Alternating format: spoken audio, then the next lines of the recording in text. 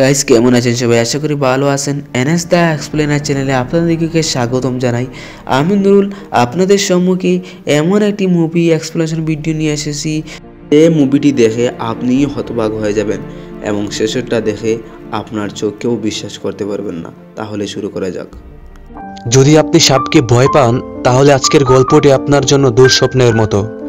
একটি যাত্রীবাহী প্লেন যখন আকাশ দিয়ে উঠছিল তখন প্লেনে থাকা প্রত্যেকটা যাত্রীকে সাপগুলো ভয়ানকভাবে কামড়াতে থাকে। শেষ পর্যন্ত কতজন বেঁচে ফিরল বা এই সাপগুলো কোথায় থেকে আসলো?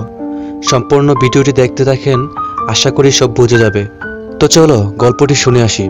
আর তোমরা চাইলে এতক্ষণে একটি সাবস্ক্রাইব করে দিতে পারো। সিনেমাটির শুরুতে আমরা জন নামে একজন বাইক রেসারকে দেখতে পাই, যে কিনা জঙ্গলের মধ্য দিয়ে বাইক রেসিং করছিল। কিছুক্ষণ পর সে ক্লান্ত হয়ে যাওয়ায় সে ড্রিঙ্ক করে। হঠাৎ জন একটি উল্টো দিকে ঝুলিয়ে থাকা আধমরা লাশ দেখতে পায়। সে যখন তাকে সাহায্য করতে যায়, লোকটি তাকে বলে, তুমি লুকিয়ে যাও। আর জন লোকটির কথা শুনে সে জঙ্গলে লুকিয়ে পড়ে। আর কিছুক্ষণ পর জন দেখে সেখানে ক্যালিফোর্নিয়ার ডার্ক মাফিয়া আসে আর লোকটিকে বাজেভাবে পিটিয়ে মেরে ফেলে। আর জন এটা দেখে অনেক ভয় পায় আর সে পালিয়ে যায়। কিন্তু পালানোর সময় তারা তাকে দেখে ফেলে। আর তার দিকে এলোপাতারে গুলি করতে থাকে। আর ভাগ্যজোরে জন তাদের হাত থেকে বেঁচে যায়। আর জন বাড়িতে সে টিভি অন করে দেখে কিছুক্ষণ আগে লোকগুলা যাকে মেরেছিল, তার নিউজ টিভিতে দেখাচ্ছে। আর জন শুনতে পায় তার দরজায় কে যেন নক করছে। আর সে যখন এটা চেক করতে যায়, সে দেখে সেই লোকগুলো তাকে ফলো করে তার বাড়ি পর্যন্ত পৌঁছে গেছে। আর জন এটা দেখে অনেক ভয় পায়, তাই সে ঘরের এক কোনায় লুকিয়ে পড়ে। আর সেখানে জনকে বাঁচানোর জন্য নেবিল নামে এক পুলিশ অফিসার আসে। আর সেখানে মাফিয়াদেরকে মেরে জনকে রিস্কিউ করে নেয়। আর নেভিল তাকে বলে, ডার্ক মাফিয়া অনেক ভয়ানক একজন লোক। কিন্তু তাকে ধরার জন্য তাদের হাতে কোনো প্রমাণ ছিল না। কিন্তু এখন তাকে ধরার জন্য তাকে জনের সাহায্য চায়। আর জন তাকে বলে, আপনি কি করে জানেন? আমি সবকিছু দেখেছি। তখন নেভিল বলে, তোমার ড্রিঙ্কের বোতলে আঙ্গুলের ছাপ ছিল, আর সেটাকে ট্রেক করে তোমার বাড়ি অবধি পৌঁছেছি। আর নেভিল জনকে জানাই এখন তোমাকে ক্যালিফোর্নিয়ার হাইকোর্টে সাক্ষী দিতে হবে। প্রথমে জন রাজি না থাকলেও পরে রাজি হয়ে যায়। আর নেভিল জনকে নিয়ে একটি যাত্রীবাহী প্লেনের সামনে আসে। সেখানে আমরা দেখি একটি লোক ফুলের মাঝে কেমিক্যাল মিশাচ্ছিল। আর সেই ফুলের মালাগুলো প্রত্যেকটা যাত্রীকে পরিয়ে দেওয়া হচ্ছে। আর নেভিল তার সাথে আরেকজন পুলিশ অফিসারকে নিয়ে নেয়। যদি মাফিয়ারা জনকে মারার জন্য অ্যাটাক করে, আর তারা দুজনে জনকে সেফ রাখবে। আর কিছুক্ষণের মধ্যে প্লেন লস এঞ্জেলেসের উদ্দেশ্যে রওনা হয়। প্লেনে থাকা প্রত্যেকটা যাত্রী খুবই এনজয় করছিল। এরপর আমরা দেখি কার্গো রুমে একটি টাইমার লাগানো ছিল। আর যখনই জিরো হয়ে যায়, তখনই শুরু হয় ভয়ানক সব দৃশ্য। প্রত্যেকটা বক্স থেকে ভয়ানক বিষাক্ত সাপ বেরিয়ে আসতে থাকে।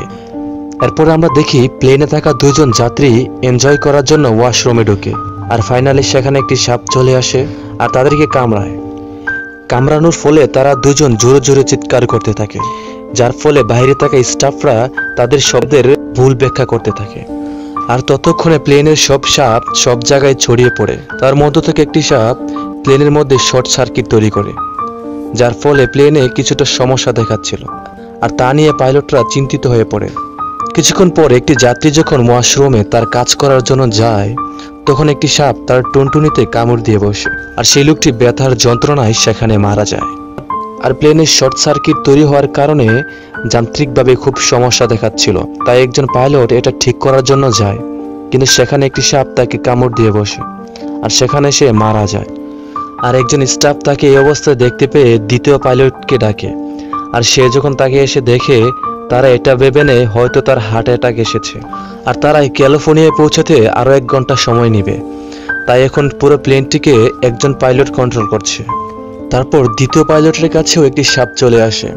সে যখন সাপটিকে মারতে যাবে, তখন ভুলবশত অনেকগুলো সুইচে তার টিপ পড়ে যায় আর প্লেনে থাকা অক্সিজেন মাস্ক ওপেন হয়ে যায়, যার ফলে সহজে সাপগুলো উপর থেকে নিচে নেমে আসে। তারপর যেটা হবার আর কি, প্রত্যেকটি সাপ মানুষকে ভয়ানকভাবে কামড়াতে থাকে। আর মানুষগুলি বাঁচার জন্য এদিক ওদিক ছোটাছুটি করতে আর নেভিলের সহকারী অফিসারকেও একটি সাপ কামড়িয়ে দেয়। আর সেখানে নেভিল চলে আসে এবং সাপটিকে তাড়িয়ে দেয়। আর নেভিল সবাইকে বলতে থাকে, তোমরা এভাবে দূরে দূরে না করে সবাই নিরাপদ জায়গায় পৌঁছাও। আসলে সবাই একসাথে এতগুলো সাপ দেখে অনেক ভয় পেয়ে যায়, যার কারণে সবাই এলোপাতারে দৌড়াতে থাকে। আর ইতিমাঝে অনেক যাত্রী মারা যায়। আর বাকি যাত্রীদেরকে নিয়ে নেবিল একটি রুমে পৌঁছায়। আর সাপগুলো যাতে তাদের এখানে না আসতে পারে, তাই সবার ভেগগুলো দিয়ে একটি দেয়াল সৃষ্টি করে। আর পুলিশ অফিসারকে সাপে কামড়ানোর ফলে তার অনেক যন্ত্রণা হয়। আর যেটা হবার, সে কিছুক্ষণ পর মারা যায়। আর নেভিল এটা দেখে অনেক কষ্ট পায়। তারপর পাইলট এসে নেভিলকে বলে, লস অ্যাঞ্জেলেসে পৌঁছাতে আমাদের আরও অনেক সময় লেগে যাবে। আর এই সময়টা সকল যাত্রীকে তুমি সামলাতে হবে। আর নেভিল জ্যাক নামে একজন অফিসারকে ফোন দেয়। আর প্লেনের সব ঘটনা তাকে খুলে বলে। আর জ্যাক রিস্কো টিমকে বলে রেডি থাকতে, যাতে প্লেন সাধ্যার সাথে ল্যান্ড করার পর যাতে তাদেরকে সাহায্য করতে পারে। আর জন নামের ছেলেটি প্লেনে এসব দৃশ্য দেখে অনেক ভয় পেতে শুরু করে। আর নেবেল এসে তাকে সাহায্য করে এবং জ্যাক জলদি করে স্টেভেন নামে একজন সাপ বিশেষজ্ঞের সাথে দেখা করে আর প্লেনের সব ঘটনা তাকে খুলে বলে। আর স্টেভেন নেবেলকে ফোন দিয়ে বলে, সাপগুলো তো আর এমনি এমনি মানুষকে আক্রমণ করছে না। প্লেনের মধ্যে তো এমন কিছু আছে যার কারণে সাপগুলো আরও অ্যাগ্রেসিভ হয়ে পড়ছে। আর আমরা এবার বুঝতে পারি প্রথমে যে একটি লোককে দেখেছিলাম, সে ফুলের মধ্যে কেমিক্যাল মিশাচ্ছে, যার কারণে সাপগুলো এখন অ্যাগ্রেসিভ হয়ে পড়ে আর যাত্রীগুলোকে ভয়ানকভাবে কামড়াতে থাকে।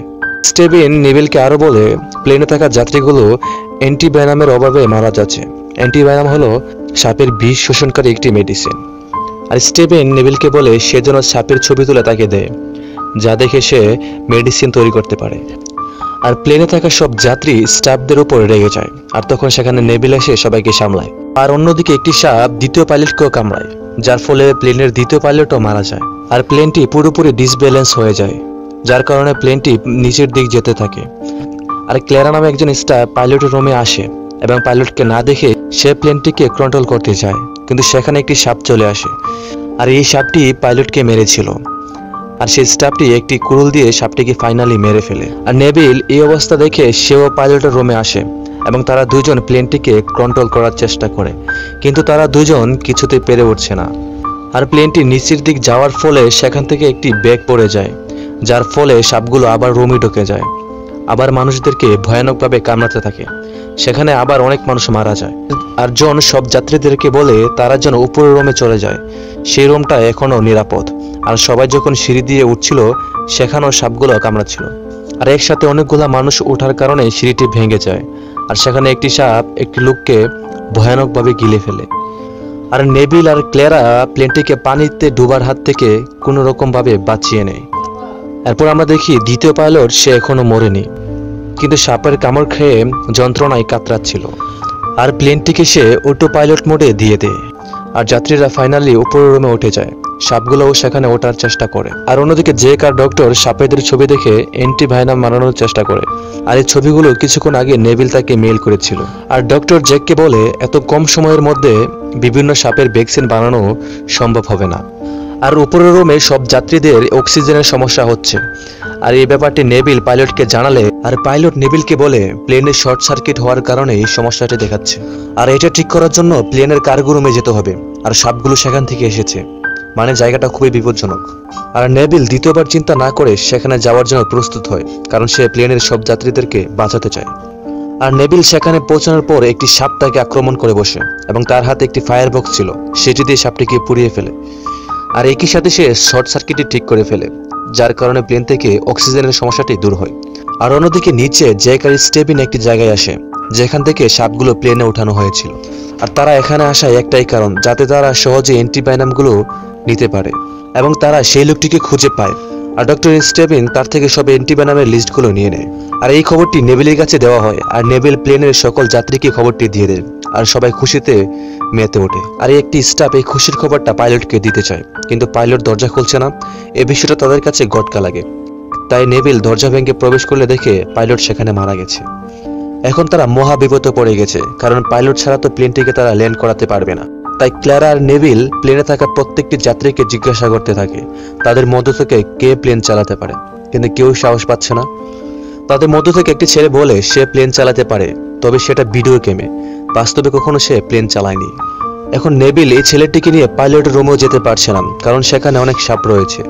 তাই নেবিল এখানে একটি বুদ্ধি খাটায়, আর সে প্রত্যেক যাত্রীকে বলে তারা যেন সিট বেল্ট পরে নেই আর সে প্লেনের জানালায় গুলি করে, আর প্রচণ্ড বাতাসের চাপে ভিতর থেকে সব সাপ বাইরে আসতে থাকে। আর পাইলটের রুমের দরজাও খুলে দেওয়া হয়, আর সেখান থেকে সব সাপ বাতাসের চাপে বাইরে বেরিয়ে আসে। এবার নেবিল সে ছেলেটিকে নিয়ে পাইলটের রুমে যায় এবং প্লেনটিকে ল্যান্ড করানোর চেষ্টা করে। এবং তারা দুজন প্লেনটিকে ফাইনালি ল্যান্ড করাতে সক্ষম হয়। এবং প্লেনে থাকা প্রত্যেকটা যাত্রী অনেক খুশি হয়। আর এয়ারপোর্টে আগে থেকেই সকল মেডিকেল টিম প্রস্তুত ছিল এবং সেখানে ডাক্তার স্টেভিন সেও অ্যান্টিভেনাম নিয়ে চলে আসে। এবং অ্যান্টিবানাম দেওয়ার আগে সবাইকে দেখানো হয় কাকে কোন সাপে কামড়িয়েছে।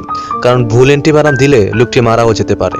সবশেষে জন যখন প্লেন থেকে বেরোবে, তখন তাকে একটি সাপে আক্রমণ করে বসে। আর নেভিল সাপটিকে গুলি করে। আর জনের গায়ে বুলেট প্রো জ্যাকেট ছিল, যার কারণে তার কোনো ক্ষতি হয়নি। সবশেষে প্লেনে থাকা প্রত্যেকটা যাত্রী অনেক খুশি। আর বরাবরের মতো মুভিটি এখানেই শেষ হয়। সো আজকের এক্সপ্লেনিং যদি ভালো লাগে থাকে, অবশ্যই লাইক কমেন্ট করে জানাবে। আর খুব শীঘ্রই নতুন ভিডিও আসবে। ধন্যবাদ সবাইকে।